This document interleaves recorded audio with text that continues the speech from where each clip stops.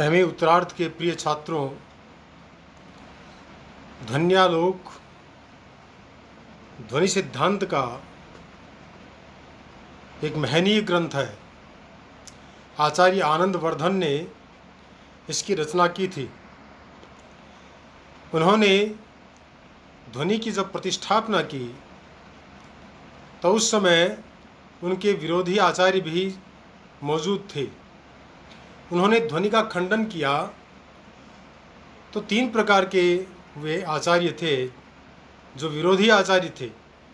एक तो अभाववादी थे, दूसरे भाक्ति भाक्तवाद थे भाक्तवादी थे, और तीसरे अलक्षणीयतावादी थे। अभाववादियों ने वाच्यार्थ से भिन्न जो ध्वनि है, उसके अस्तित्व को स्वीकार करने से सर्वथा मना कर रखा है। उन्होंने इसके अस्तित्व को स्वीकार नहीं किया। आचार्य आनंदवर्धन ने सर्वप्रथम उन्हीं का खंडन करते हुए ध्वनि की प्रतिष्ठापना की है।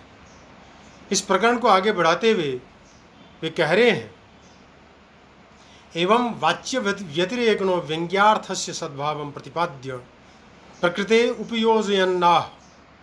अर्थात इस प्रकार वाच्यार्थ से अतिरिक्त व्यंग्यार्थ के अस्तित्व और प्राधान्य का प्रतिपादन करके प्रकृति में उसका उपयोग करते हुए कहते हैं। क्या कहते हैं?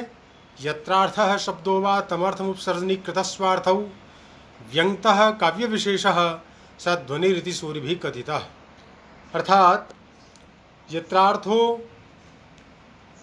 वाच्य विशेष वाचक विशेष शब्दों व तमर्थम व्यंगत स काव्य विशेष ध्वनिरीति। यत्र अर्थः शब्दः वा उपसर्जनीकृतस्वार्थौ, तम अर्थम व्यंगतः स काव्य विशेषः सूर्य ध्वनि इति कथितः। अर्थात, जहाँ अर्थ अपने को, अपना शब्द, अपने अर्थ को गुणीभूत करके उस प्रतिमान अर्थ को अभिव्यक्त करते हैं, वह काव्य विशेष विद्वानों द्वारा ध्वनि कहा जाता है। जहाँ अर्थ यानी वाच्य विशेष या शब्द यानी वाचक विशेष उस प्रतीयमान अर्थ को अभिव्यक्त करते हैं, वह काव्य विशेष ध्वनि कहलाता है। इस प्रकार से जो वाच्यवाचक हैं, अर्थात वाच्यार्थ और वाचक शब्द अविधावृत्ति के द्वारा वाचक शब्द वाच्य अर्थ को कहता है, लेकिन वह वाचक शब्द स्वयं को तथा अपने अर्थ को गुणीकृत करके जिसके लिए काव्य में स्वयं को समर्पित कर देता है, स्वयं को उसकी सेवा में लगा देता है, ऐसा जो काव्य होता है जहाँ पर प्रतिमान अर्थ की या ध्वनि की प्रधानता होती है, उसे हम ध्वनि काव्य कहते हैं, उसे ध्वनि कहते हैं। आचार्य आनंद वर्धन इस कारिका की अपनी वृत्ति के अंदर बड़ी सूक्ष्म विवेचना करते हैं। वे कहते हैं अनेन वाच्यवाचक चारुत्व हेतुभ्य उपमादिभ्योनुप्रासादिभ्य विभक्त एव ध्वनिर्विषय दर्शित यद्युक्त प्रसिद्ध प्रस्थानातिक्रमिणो मार्गस्य काव्यहानिर्ध्वनिर्नास्ति तदप्ययुक्तं यतो लक्षणकृतामेव स केवलं न प्रसिद्धः, लक्ष्ये तो परीक्ष्यमाणे स एव सहृदय हृदयाह्लादकारी काव्यतत्वम् तथोन्यचित्रम एवं इति अग्रे दर्शयिष्याम। अर्थात, इस ध्वनि के लक्षण से यह दिखाया गया है कि वाच्य अर्थ और वाचक शब्द को चारुता के हेतु उपमा आदि तथा अनुप्रास आदि अलंकारों से ध्वनि का विषय भिन्न है। जो भी कहा गया है कि प्रसिद्ध प्रस्थान, अर्थात शब्दार्थ शब्दार्थ शरीरम काव्यम वाले मार्ग का अतिक्रमण करने वाला मार्ग काव्यत्व से रहित होता है, अतः ध्वनि नहीं है, वह भी ठीक नहीं है। क्योंकि ध्वनि का मार्ग केवल लक्षण करने वालों के लिए प्रसिद्ध नहीं है अभी तो लक्ष्य की परीक्षा करने पर वही ध्वनि सहृदय जनों के हृदय को आह्लादित करने वाला काव्य तत्व सिद्ध होता है। उससे दूसरा काव्य जो कि ध्वनि से रहित है चित्र काव्य ही है यह आगे दिखाया जाएगा। यहाँ पर आचार्य आनंद वर्धन ने अपनी वृत्ति में और मूल कारिका में कुछ शब्दों का प्रयोग किया गया, किया है। उन्हें समझ लेना चाहिए। ध्वनिर विषय, यानी ध्वनि का विषय। ध्वनि है विषय, ये दो शब्द हैं, या संधि हो रही है। यानी विशेषेण सिनोति बध्नाति स्वसंबंधिनम पदार्थम इति विषय। विउपसर्ग पूर्वक शी धातु से अच प्रत्यय करने पर विषय शब्द का निर्माण होता है। इस व्युत्पत्ति के अनुसार विषय शब्द का अर्थ है कि जो अपने संबंध के पदार्थ को बाँध देता है, सीमित कर देता है, प्रस्तुत में ध्वनि का भी अपनी सीमा से बाहर सद्भाव नहीं है, अर्थात वह सीमा से बना हुआ है। अतः ध्वनि को उपमा आदि के अंतर्गत नहीं लाया जा सकता। उपमा आदि वाच्य और वाचक की चारुता के हेतु हैं, किंतु ध्वनि का प्राण व्यंग्य व्यंजक भाव है। और यहाँ यह स्वयं चारुता की प्रतीति है। चित्रमेव, चित्र का भी यही है। व्यंग्य अर्थ से रहित अलंकार मात्र की शोभा से युक्त जो काव्य होता है, उस काव्य को चित्र काव्य कहा गया है। यह दो प्रकार का होता है।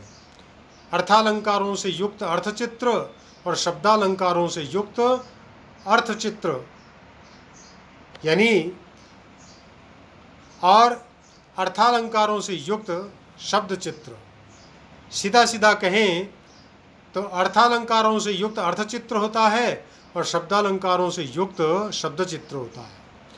जैसा कि प्रस्तुत ग्रंथ के तीसरे उद्योग में कहा गया है, प्रधान गुण भावाभ्याम व्यंग्यस्यैवं व्यवस्थिते, काव्ये उभे ततोन्यद्यत, तच्चित्रम अभिधीयते चित्र शब्दार्थ भेदेन द्विविधम च व्यवस्थापितम तच्च किंचित शब्द चित्रम वाच्य चित्रम अतः परम। इस प्रकार से शब्द चित्र और अर्थचित्र के विषय में स्वयं ध्वनिकार ने तृतीय उद्योग में इसको स्पष्ट किया है। इसका यहाँ पर संकेत मात्र किया गया है। आगे कहते हैं, यद्यप्युक्तम कामनीकम अनतिवर्तमान से तस्ोक्ता वलंकारादि अंतर्भाव तदप्य समीचीनम वाच्यवाचक मात्राश्रयेणी प्रस्थाने व्यंग्य व्यंजक समाश्रयेण व्यवस्थित ध्वनि कथम अंतर्भाव वाच्यवाचक चारुत्व हेतु ही तस्यांग भूत स तो अंगिरूप एवं प्रतिपादयिष्यमाणत्वात्। आचार्य कहते हैं कि जो भी कहा गया है, कमनीयता का अतिक्रमण न करने वाले, उस ध्वनि का उक्त अलंकार आदि के प्रकारों में अंतर्भाव हो जाता है, वह भी ठीक नहीं है। क्योंकि केवल वाच्य और वाचक भाव पर आश्रित रहने वाले अलंकार आदि के मार्ग में व्यंग्य और व्यंजक भाव का आश्रयण करके व्यवस्थित रहने वाली ध्वनि का अंतर्भाव कैसे हो सकता है? आगे प्रतिपादन किया जाएगा कि वाच्य और वाचक के चारुत्व हेतु अलंकार आदि उस ध्वनि के अंगभूत हैं और वह ध्वनि तो अंगी रूप ही होता है, अर्थात ध्वनि प्रधान है, वह अंगी है और अलंकार आदि जो है, वे तो अंग मात्र होते हैं। क्योंकि वे उसके लिए ही हैं। उस ध्वनि का प्राकट्य करने के लिए, उस ध्वनि को अभिव्यंजित करने के लिए वास्तव में इन अलंकारों आदि का प्रयोग होता है। उसकी शोभा बढ़ाने वाले ये तत्व हैं। यहाँ पर यद्यप्य अयुक्तम, यदि अपियुक्तम ऐसा कहा है, यहाँ की पंक्तियों में ग्रंथकार ने उस मत का खंडन किया है, जिसके अनुसार ध्वनि का समावेश अलंकार आदि में किया जाता है। भाव यह है कि जब अलंकार वाच्यवाचक भाव पर निर्भर करता है, तब व्यंग्य व्यंजक भाव पर निर्भर करने वाली ध्वनि उस अलंकार के अंतर्भूत कैसे हो सकती है? फिर अलंकार ध्वनि के अंग है और ध्वनि उनकी अंगी है, तब अंग में अंगी का अंतर्भाव कैसे होगा? फिर आगे कहते हैं, एक किसी अन्य व्यक्ति का श्लोक है, उसको उद्धृत करते हुए कहते हैं परिकरश्चात्र श्लोक। व्यंग्य व्यंजक संबंध निबंधनतया ध्वनि वाच्यवाचक चारुत्व हेत्वंत पातिता ध्वनि व्यंग्य व्यंजक संबंधी निबंधनतया वाच्यवाचक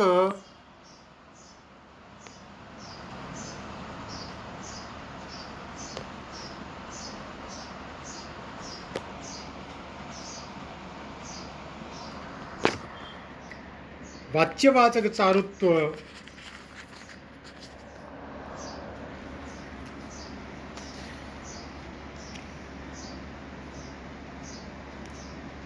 हेत्वंतः पातिता कुतस्यात इस संबंध में एक परिकर श्लोक है, जिसको यहाँ पर उद्धृत किया गया है। जिसका अर्थ है कि ध्वनि के व्यंग्य व्यंजक भाव के संबंध से निबद्ध होने के कारण वाच्य और वाचक के चारुत्व के हेतुओं यानी अलंकार आदिकों में उसका अंतर्भाव कैसे हो सकता है? यहाँ परिकर श्लोक, ऐसा कहा गया तो परिकर का मतलब क्या होता है? कारिका में नहीं पढ़े गए या नहीं कहे गए, अधिक अर्थ का प्रक्षेप करने के लिए जो श्लोक होता है, उसे परिकर श्लोक कहते हैं। तो इसके माध्यम से यह बताया गया है कि अलंकारों का ध्वनि में अंतर्भाव हो सकता है लेकिन ध्वनि में अलंकारों ध्वनि में अलंकारों का अंतर्भाव हो सकता है, लेकिन अलंकारों में ध्वनि का अंतर्भाव नहीं हो सकता है, क्योंकि ध्वनि अंगी है और अलंकार आदि जो हैं, वे अंग हैं। आगे फिर कह रहे हैं, ननु यत्र प्रतिमानस्यार्थस्य वैषद्येना प्रतीति, स नाम मा भूध्वनि विषय, यत्र तु प्रतीतिरस्ति, यथा समासोक्त्याक्षेप अनुक्त निमित्त विशेषोक्ति पर्यायोक्तापन्नुति दीपक शंकरालंकारादौ तत्र ध्वनिरंतर्भावो भविष्यति इत्यादि निराकर्तुम अभिहितम उपसर्जनीकृतस्वार्थो इति। अर्थो गुणीकृतात्मा। गुणीकृता विधेय शब्दों वा यत्रार्थांतरम अभिव्यनक्ति सध्वनिरीति तेषु कथम तस्य अंतर्भाव व्यंग्य प्राधान्य ही ध्वनि न चैतत समासोक्त्यादिशु अस्ति। अर्थात शंका होती है कि जहाँ प्रतिमान अर्थ की प्रतीति स्पष्ट रूप से नहीं होती, वह ध्वनि का विषय न हो, किंतु जहाँ प्रतीति है, जैसे समासोक्ति, आक्षेप, अनुक्त निमित्त, विशेषोक्ति, पर्यायोक्त, अपन्नुति, दीपक, शंकर अलंकार आदि जो हैं, उनमें वहाँ ध्वनि का अंतर्भाव हो जाएगा। इस शंका का निराकरण करने के लिए ध्वनि के लक्षण में कहा है उपसर्जनी कृतस्वार्थ अर्थात, जहाँ अर्थ स्वयं को गुणीभूत करके या शब्द अपने अर्थ को गुणीभूत करके दूसरे अर्थ प्रतिमान को अभिव्यक्त करता है, वह ध्वनि है। इसलिए उन अलंकारों में उस ध्वनि का अंतर्भाव कैसे हो सकता है? क्योंकि व्यंग्य अर्थ की प्रधानता में ही ध्वनि होती है, और यह समासोक्ति आदि में नहीं है। इस प्रकार से यहाँ पर जो अलंकारवादी हैं, अभाववादी हैं, जो ये कहना चाहते हैं कि जो अलंकार आदि हैं, उनमें ही ध्वनि का अंतर्भाव हो जाएगा, उसको पृथक मानने की आवश्यकता नहीं है। उसका खंडन करते हुए यहाँ पर यह प्रतिपादित किया गया है कि वास्तव में ध्वनि में अलंकार आदि का अंतर्भाव तो हो सकता है, लेकिन अलंकार आदि में ध्वनि का अंतर्भाव नहीं हो सकता, क्योंकि ध्वनि काव्य के अंदर प्रधान तत्व होता है, उसकी सिद्धि के लिए ही अलंकार आदि का प्रयोग होता है। इस प्रकार से हमने यहाँ पर जो ध्वनि काव्य है, उसमें व्यंग्य, यानी प्रतिमानार्थ यानी जो ध्वनि है, उसकी ही प्रधानता होती है। और उसकी जब प्रधानता होती है तो वह अंगी होता है, प्रधान होता है। वह प्रधान होता है या अंगी होता है तो बाकी सब अलंकार आदि जो तत्व हैं, वे सब अंग होकर के वहाँ पर स्थित रहते हैं। इसलिए अंग जो हैं, उनमें अंगी का कभी भी अंतर्भाव नहीं हो सकता। अंगी में ही अंगों का अंतर्भाव होता है। यह बात यहाँ पर यह आचार्य कहना चाहते हैं, अस्तु, आज हम इतना ही यहाँ पर स्पष्ट करेंगे। आगे की जो समासोक्ति आदि में जो ध्वनि की प्रतीति आदि होती है, वह कैसी होती है? वहाँ ध्वनि का अंतर्भाव हो सकता है या नहीं हो सकता है? इस प्रकार की बातों को स्पष्ट करने के लिए हम कल पुनः उन उदाहरणों को लेकर के उपस्थित होंगे। तब तक जयतु भारतम जयतु संस्कृतम।